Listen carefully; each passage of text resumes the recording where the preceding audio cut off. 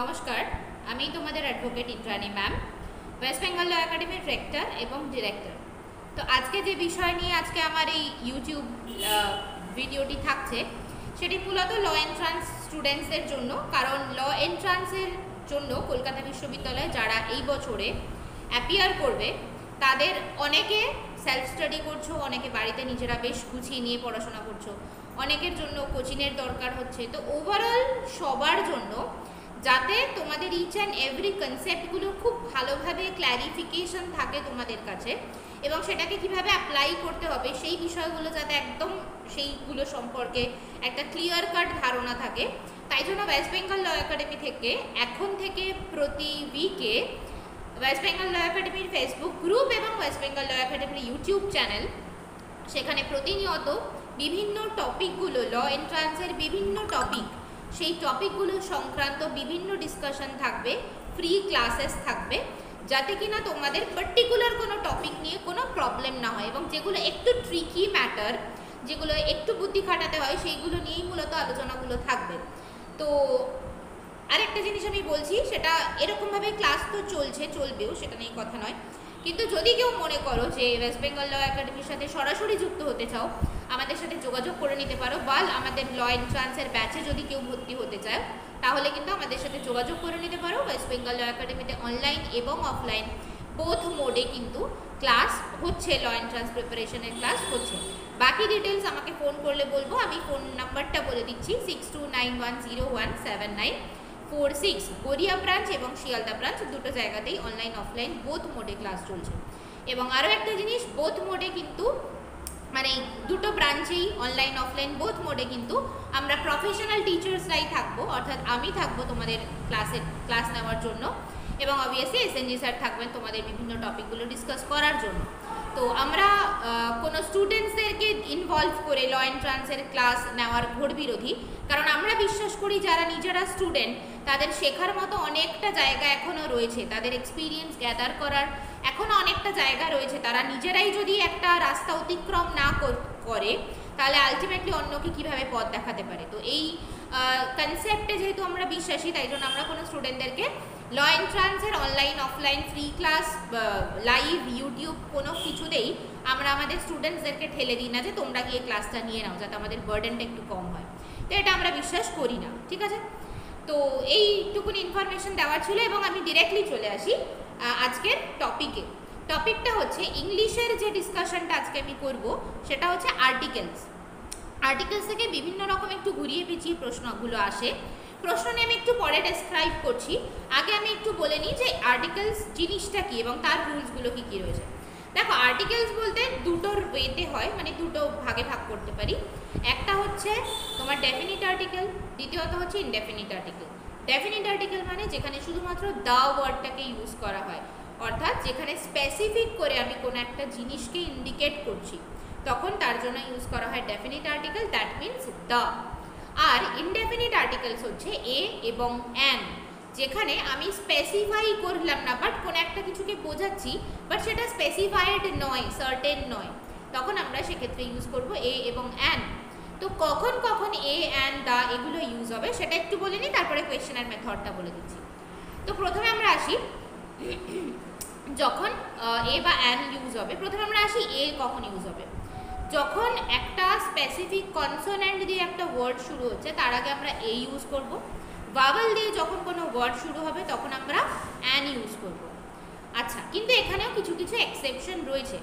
যেমন ধরো আমি যদি বলি M A M dot A capital M dot capital A দেখো এম এই উচ্চারণটা করার সময় আমাকে আগে এ এম এ ওয়ার্ডটা আনতে হচ্ছে, বা লেটারটা আনতে হচ্ছে।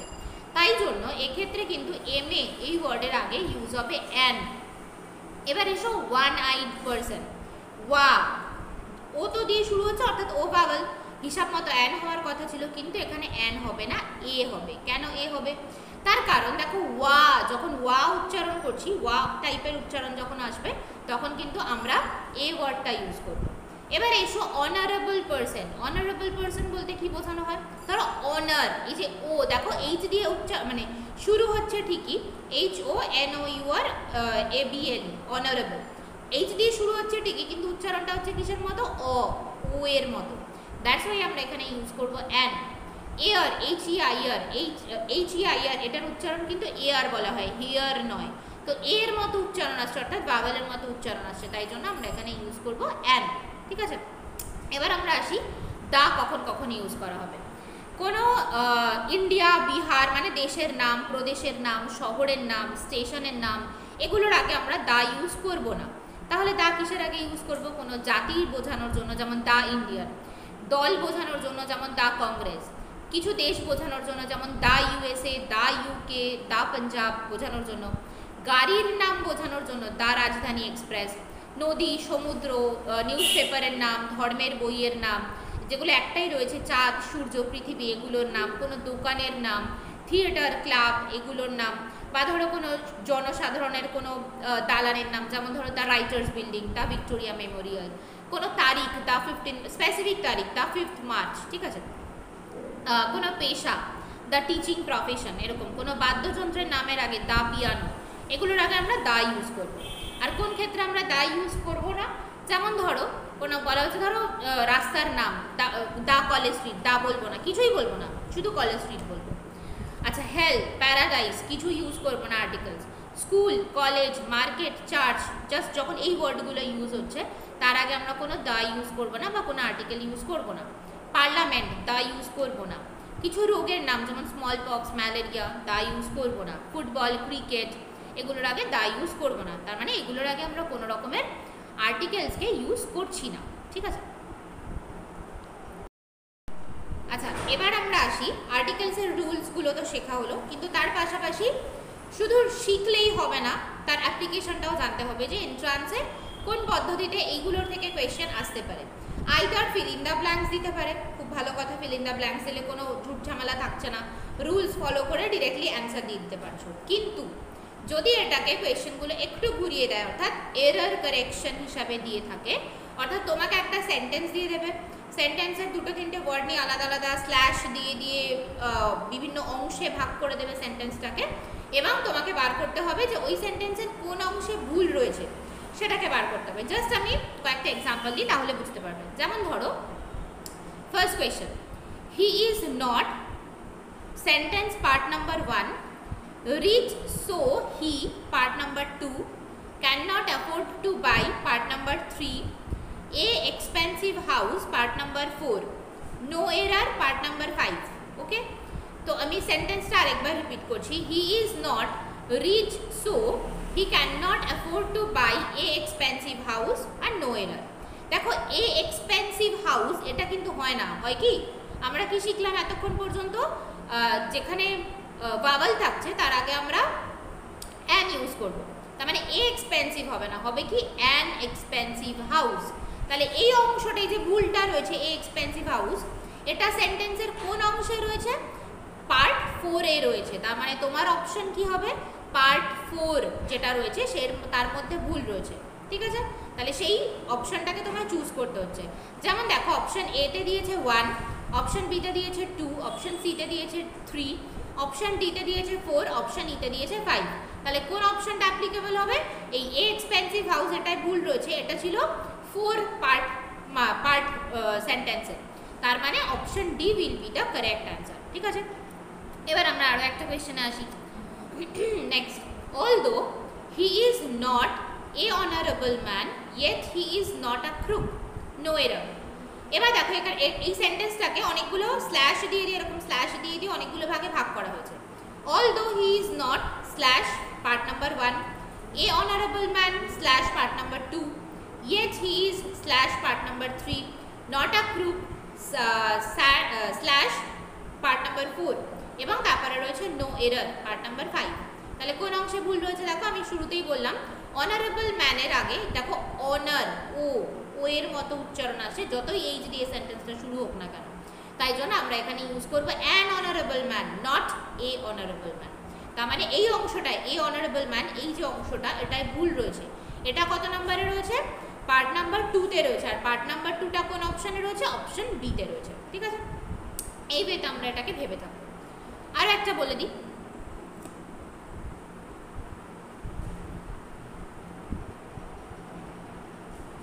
Diksha is a best student in our class at present. No error. Diksha is part number 1, a best student part number 2, in our class part number 3, at present part number 4, no error part number 5.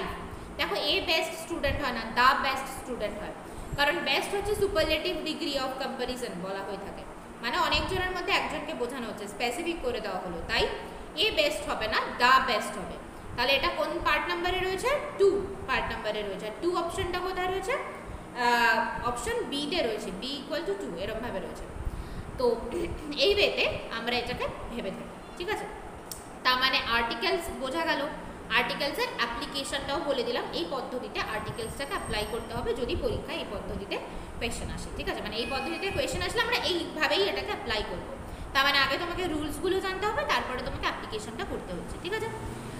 আরেকটা জিনিস বলে দিই, এই যে articles in ফিউচারে যা যা টপিকগুলো আসবে, এই সমস্ত টপিকগুলো সম্পর্কে কেমন পদ্ধতিতে আগের দু, দশ বছরে কোয়েশ্চেন এসছে, এগুলো কিন্তু তুমি একদমই নির্ধারণ করতে পারবে না। যারা এগুলো বলে থাকেন, যে আমার কাছে প্রিভিয়াস ইয়ারের বা গত এই বছরের টোটাল দশটা কোয়েশ্চেন প্রিভিয়াস ইয়ারের রয়েছে, তারা সম্পূর্ণ ভুয়ো কথা এবং মিথ্যে কথা বলে থাকেন তাদের নিজেদের ব্যবসায়িক স্বার্থের জন্য। তোমরা নিজেরা যদি সচেতন না হও, তাহলে কিন্তু সেই সমস্ত ভাওতাবাজি লোকজনের কাজ কারবার আরও বাড়বে এবং তারে, তাদের দ্বারা আরও প্রচুর স্টুডেন্টরা প্রতারিত হবে। তার কারণ হচ্ছে যখন তোমরা পরীক্ষার হলে যাবে, তখন তোমাদেরকে খামবন্দি অবস্থায় কোয়েশ্চেন পেপার এবং তার সাথে ওয়েমার শিট দিয়ে দেওয়া হবে।